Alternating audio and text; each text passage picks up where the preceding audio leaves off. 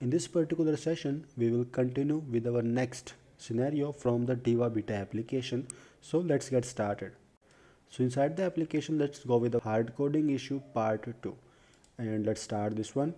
Here we have the objective as find out what is hard coded and where it is hard coded. So here we got a simple input field entered the vendor key here so we just have to enter the vendor key which we don't know and after entering the vendor key we have to click on this access right? If the vendor key was correct we will simply maybe granted otherwise we will simply get access denied. So to find out the vendor key just go with your source code. And inside the source code we don't know what was the name for this activity. So i'll go with the manifest file. And I'll try to figure out the activity name here. So the activity name here is hard coding to activity here and the main source code for this activity was located inside this folder jakhar.aseem.diva and your hard code to activity. So let's go with the source code hard code to, to activity. And inside the hard code to activity here you can see we define an object for the diva jni class here. And after that part we got the on create method. Inside the on create method we simply complete the declaration for all the components here including your djni that we just declare here. Simply initialize it here. And after that part after this on create method we got our access method. Under the access method part we got our if else condition. And inside this if condition we got simple.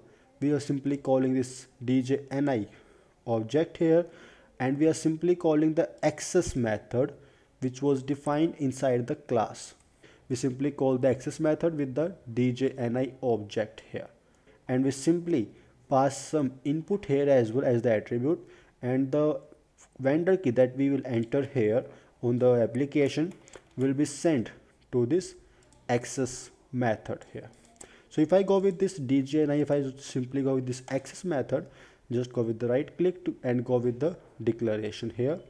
And inside declaration you can see we call this access method or if you simply go here above this line you can see we define another variable with the name so name and the name was diva jni and we simply call this access method which will simply accept the string attributes.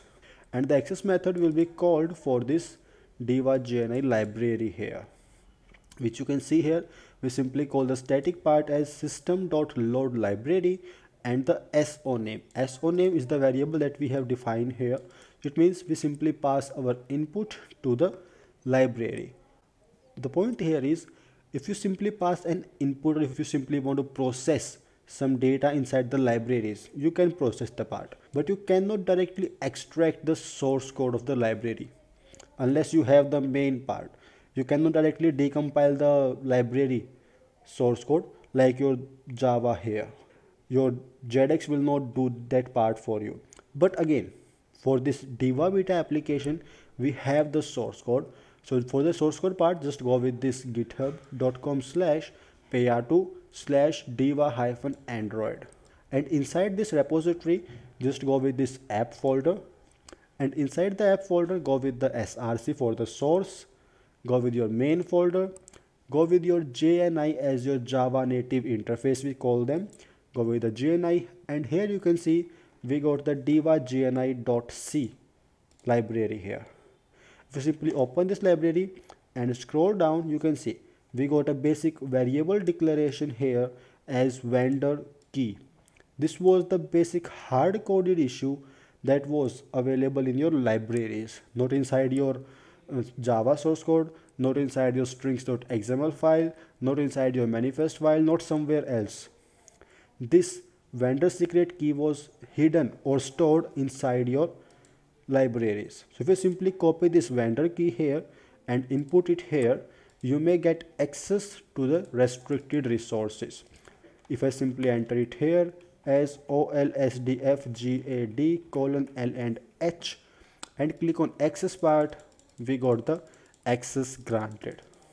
This was your hard coding issue part 2 where your variables where your sensitive data was hard coded inside the library. Have a good day and stay connected.